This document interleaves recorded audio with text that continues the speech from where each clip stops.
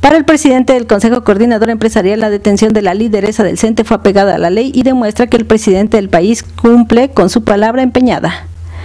Me da la impresión que es una detención con apego a la ley, este, porque hay una serie de pruebas muy claras que ahí se presentaron.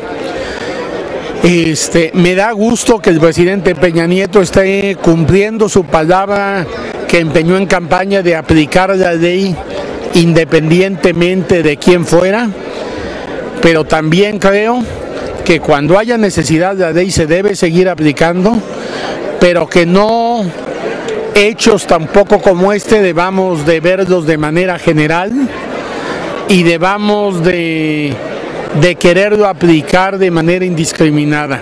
A su vez, el presidente de la Cámara de Comercio Local opina no se deben cometer errores para que no proceda a la salida de reclusión. Yo creo que la autoridad es quien determina si hay culpabilidad o no.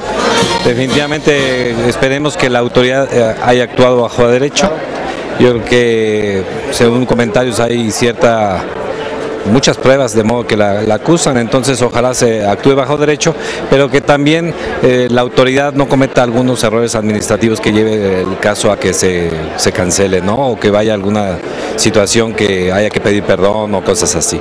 Ojalá que se lleve a cabo correctamente y que bueno, la autoridad dirá si, si es o no culpable y si hay desvíos pues que determine y que definitivamente si hay algo de esa manera pues que se castigue por cuanto al llamado del presidente de que nadie por encima de la ley es una medida correcta. Parece muy bien, yo creo que queremos un país diferente, queremos un país, sí, con libertad, pero con responsabilidad y yo creo que nuestro presidente estará haciendo lo correcto y pues bueno, hay que tomar acciones para que nuestro país cambie.